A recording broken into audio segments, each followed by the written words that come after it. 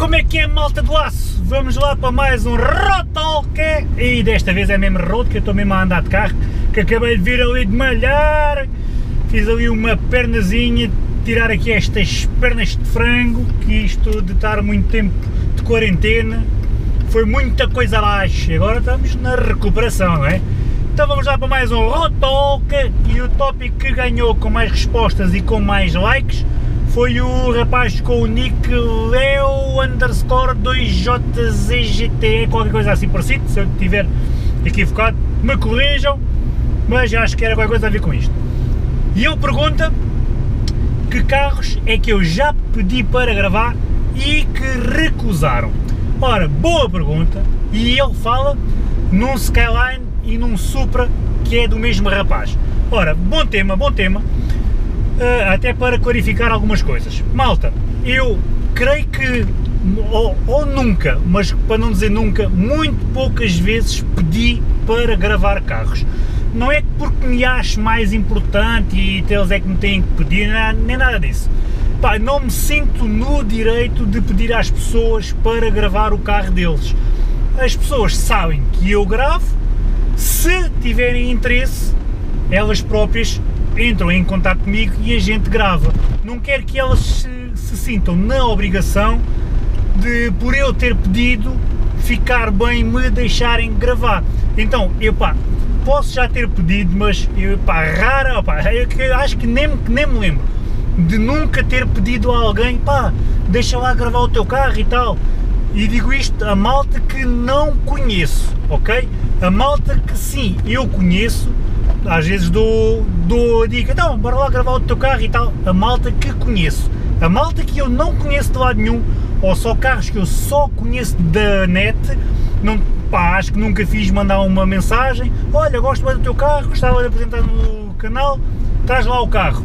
Pá, eu acho que nunca fiz isso. Se o fiz, não me lembro, e se o fiz deve ter sido uma, duas vezes. Por essas razões, pá, eu não quero estar a pressionar as pessoas, as pessoas sabem que eu, que eu gravo, se gostarem do tema, se gostarem da minha maneira de ser, se gostarem do meu estilo de vídeos, elas próprias me irão contactar e a gente faz o vídeo na boa, sem stress. Agora, a malta que eu conheço, sim, às vezes dou o toque, ah, bora lá gravar o teu carro, o teu carro é nice e tal, aí sim posso dizer que pedi, mas eu não considero estar a pedir, Porquê? porque eu conheço as pessoas, é naquela, bora e tal. Foi o caso desse rapaz que, ele, que esse Leo 2 GTE está a frisar, que é um rapaz que eu conheço, não de muitos anos, não de longa data, mas já convivi com ele pessoalmente algumas vezes.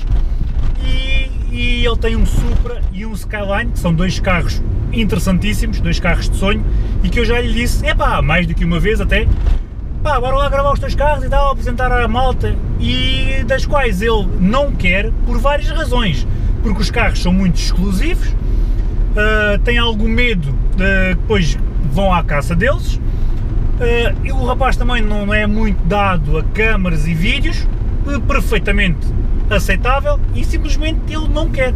Não me disse, é pá, não, porque és um azeiteiro, porque não gosto dos seus vídeos. Não, simplesmente disse, é pá, não quer estar a mostrar este estilo de carro, porque há tão poucos em Portugal que eu não os quero estar a mostrar, muito menos quer que as pessoas saibam que é meu. Vou estar a aparecer eu, vai estar a aparecer os meus carros e eu não quero.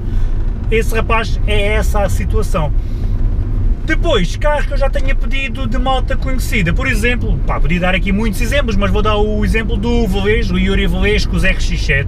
Sim, já lhe cravei o carro mil e uma vezes, mas não é naquela, pá, é presta o carro, não, é naquela da brincadeira, da desportiva. Ele já trouxe carros dele cá, já trouxe carros de clientes, já trouxe um carro dele, um Subaru, uh, e já lhe mandei várias vezes a boca. Ele nunca me disse que não, pelo contrário, já me disse várias vezes que tenho que trazer o carro, mas o que é certo é que o carro nunca apareceu. Pronto, aí pode-se dizer que eu já pedi e ele nunca trouxe. Outro carro também de outro amigo meu, também um RX-7, carregadão até aos dentes, um amigo meu pode-se dizer amigo de infância, também já lhe mandei a boca, ele também tem um, tem um R7 muito, muito forte, se calhar o mais forte em, em, Portugal, muito provável, muito provável ser o mais forte em, em, Portugal, não posso dizer que é porque eu não conheço todos, mas é que ele está mesmo muito forte, e ele também ainda nunca me disse que não, disse é para ver se a gente grava e tal, mas ainda não apareceu. Entre outro pessoal amigo. Pá, conheço pessoal com diesel muito forte, uh, projetos mais pequenos mas interessantes que eu já lhes mandei a boca e eles dizem, pá, não e tal, não quero, tal, não gosto do conteúdo, uh, não me apetece, não quero aparecer. Agora, se vocês me perguntarem, gajos da net, projetos de net que eu já tenha pedido e me tenham negado, não, porque eu, como disse, não tenho por hábito pressionar as pessoas assim se as pessoas gostarem do meu conteúdo, trazem os carros, eu gravo na boa, sem stress, falamos, até podemos a falar, não chegar a nenhum consenso e não gravamos, mas temos que falar, não é? Mas pronto, foi este o tema que venceu, foi este o tema que eu abordei, eh, eu acho que até havia um tema que tinha tido mais likes e mais respostas, mas já tinha sido abordado, volto a repetir, no Road Talk ou no Top 5, Deem sempre uma vista de olhos na playlist, a ver se eu já não fiz esse tema que vocês estão a sugerir. Lembrando, deixem nos comentários um tema para eu abordar. Isto é o Talk, não é o Top 5, Top 5 é outro tema. Deixem na, na descrição, uh, nos comentários, um tema que vocês querem que eu aborde, que eu no próximo uh, vídeo vou abordar esse tema, o tema que tiver mais likes e mais respostas. Malta, têm que comentar, porque imagina, uh, há o rapaz que pergunta assim, então e qual foi o melhor carro que tu já conduziste na vida? Eu posso abordar esse tema, mas nas respostas a esse, a esse comentário, pá, deem outras sugestões que queiram falar da travagem, do andamento, do conforto, pá, que eu faço sempre, tento sempre fazer um vídeo depois mais completo possível, ok? Eu agora estou aqui numa estrada de caminhos de cabras, é só buracos, sei que vocês estão a sentir o carro a abanar e eu estou a andar muito devagarinho porque isto é mesmo buraco sim, buraco sim, buraco não, buraco sim, buraco sim, buraco não. Mesmo à margem sul. Vai malta, despeço-me com amizade. Olha, está aqui uma rotundazinha, posso me despedir assim com um slidezinho. Uh, parece que puxas atrás. Vai malta, fiquem bem, grande abraço e um grande guerra!